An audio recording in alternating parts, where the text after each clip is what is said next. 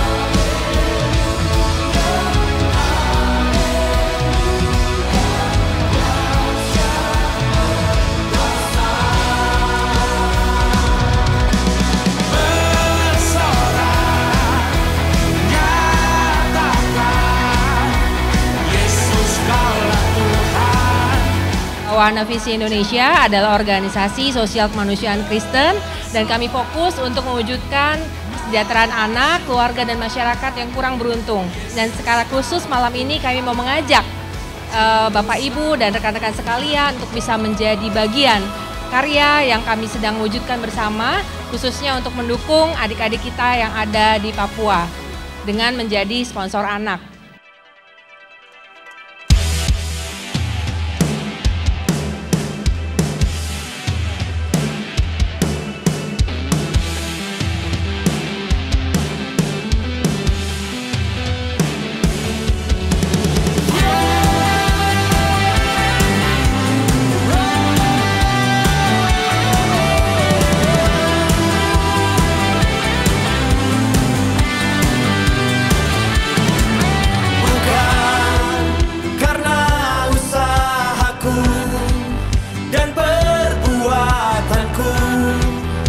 Semua pemberianmu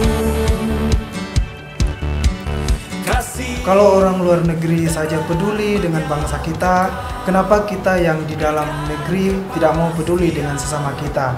Ayo Bapak Ibu, teman-teman, saudara-saudara semua bergabung bersama WVI menjadi sponsor anak di Indonesia.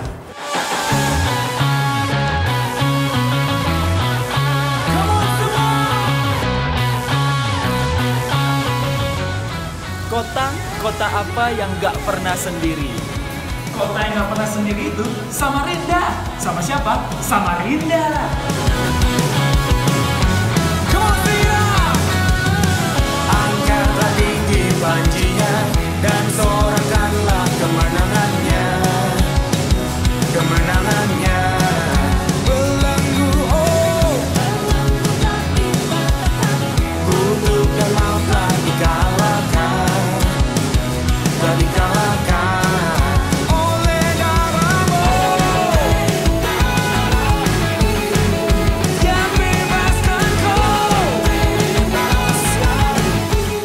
Shalom, saya Sydney Muhede mewakili JPCC Worship dan juga Wahana Visi Indonesia.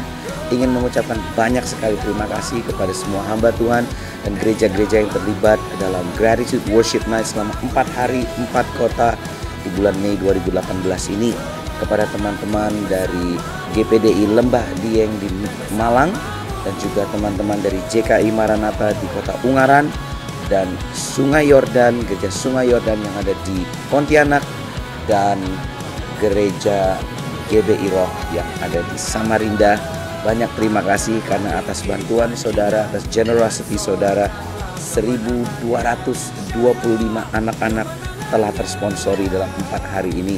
Itu adalah anak-anak yang mempunyai harapan yang baru, mimpi yang baru, dan itu semua berkat kerjasama Bapak dan Ibu sekalian. So once again, terima kasih dan semoga kita akan berjumpa kembali lagi untuk melayani Tuhan dan memuliakan nama Tuhan bersama-sama.